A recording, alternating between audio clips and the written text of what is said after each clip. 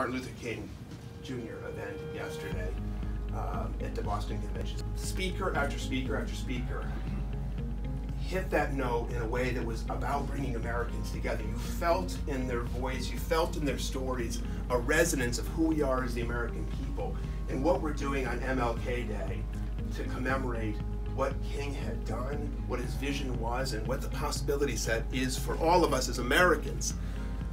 However, one speaker, Senator Warren, struck a much different chord, uh, and profoundly the wrong chord, the wrong note to be hitting on a day like this, in divisive rhetoric and language which, which is intended only to polarize and drag us apart, and not at all in keeping with the legacy of King. She spoke in, in, in words and tones that were about tearing our country apart.